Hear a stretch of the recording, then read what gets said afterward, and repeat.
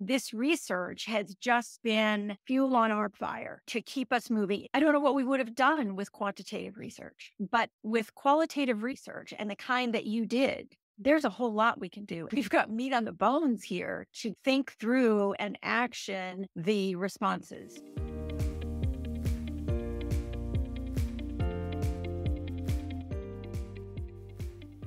Welcome to In the Know, a podcast by Know Research.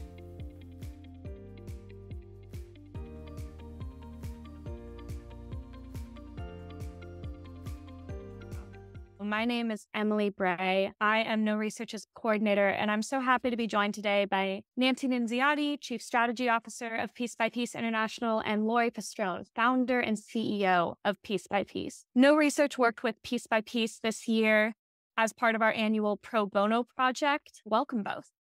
Thank you. Great to be here. Lauri, can you just give us a little background on Peace by Piece International and then talk about what you wanted to learn from this research? Peace by Piece is a company that is trying to transform the way corporations buy gifts for employees, for clients, and stakeholders. We work with teams of artisans and makers that are part of underserved communities, very talented individuals who may have been homeless, may have been incarcerated, victims of sex trafficking, the vast majority are women and they are simply individuals who need a second chance. Through the purchase of the gifts that they make, corporations can literally change the trajectory of the lives of some of mm. these individuals. When we were selected for your project, there were a couple of things that we wanted to really affirm. And one was how much does it matter to a gift recipient that their gift was socially important, that it was a consciously chosen gift? What were the barriers in front of corporations in buying socially responsible and very conscious and purposeful gifts? And you've helped us to understand some of those as well. And we're looking forward to putting some of our learnings into practice. I'm so grateful to, to, have been a part of this from start to finish. Just to recap, the Know Research team took a four phase approach. We spoke to 28 participants across these four phases in speaking to both gift recipients and corporate gift purchasers. We had an interim workshop with the Peace by Piece team in between audiences to understand where we needed to pivot and learn more. And I think across these four phases, we got some great insights. We would just love to know what were some of your key takeaways? The learnings that we got from the gift purchasers that you spoke with were really some of the most important findings for us. You took each of them to our website and showed them our website and asked for their very open opinions. We learned that we're not getting our story across as well as we know we need to. We feel that we can be a real partner to gift purchasers and that we can make their jobs not only easier in many ways, but we can make it more purposeful. And that's something that we heard from gift buyers over and over again. Corporations want to be able to buy gifts easily, quickly, and they want them to have meaning as an enterprise, we need to be able to show them how quickly they can get a gift, that gifts can be branded, that they can go to our website and reach out to us immediately. The learnings that you've provided have really helped us relative to our website and to our marketing communications of what we need to do better to get that message across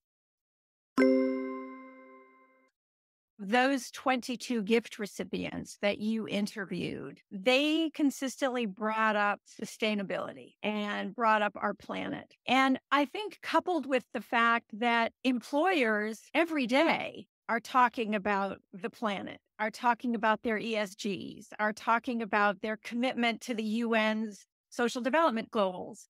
I mean, they are hearing this talk. And so I think the idea that a gift that they would be given actually aligns with the talk was really significant. They need to show their employees that their commitment to sustainability is real and that it's not just talk.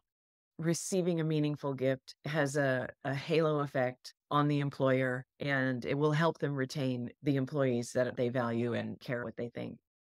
So we learned from gift recipients that they would really find value in these values based gifts, but we had trouble defining that for them at times. So, Lauri, would you be able to provide us some examples of the kind of values based gifts that Peace by Piece International offers?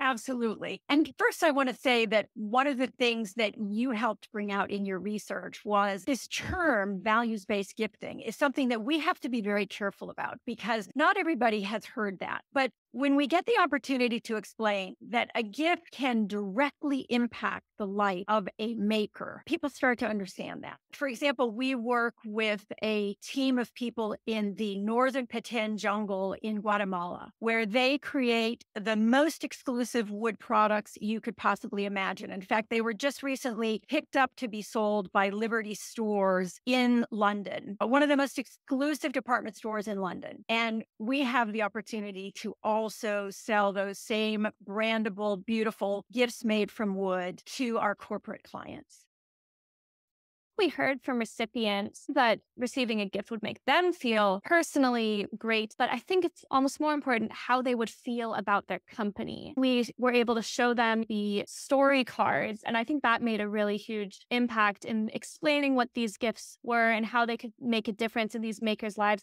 Can you give a little background on what the story card is and how that learning was important for the company? Yeah, absolutely. Every single gift that we send out comes with a card. It's like a three by five card that on one side has a story about the community of makers that has made the gift that the recipient is getting. And on the flip side is a highlight of a particular person who works in that workshop, like what their story is, where they came from, how this type of employment has helped them, and the difference that it's made in their life and their families' lives. And what we learned through the research was exactly how much of an impact this little card can have. Because someone might get a gift, they're like, oh, this is a beautiful charcuterie board. But then when they see someone came from homelessness or from abject poverty and now has a dignified wage, a job to go to, and the difference that it made in their life, it's just unbelievable.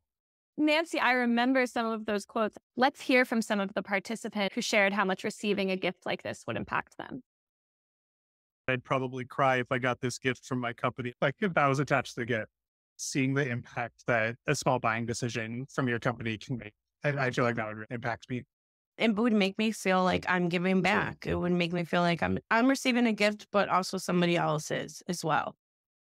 Incredible. So I would love to know we've learned so much. We talked about some of your key takeaways. What are you hoping to do with these insights in the next year, in the next five to 10 years?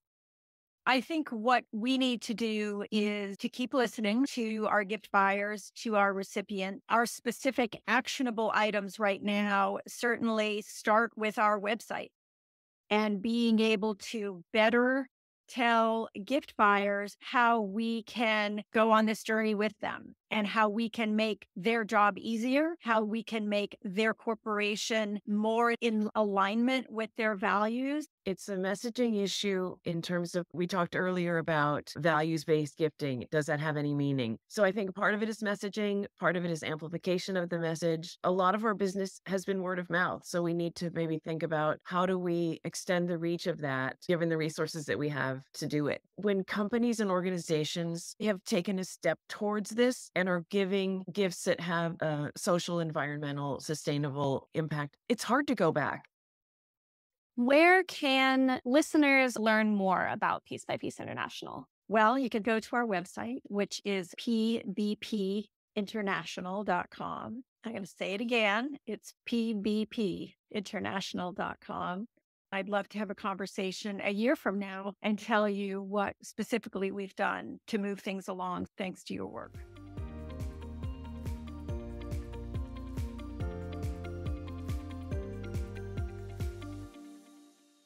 This has been a production of Know Research.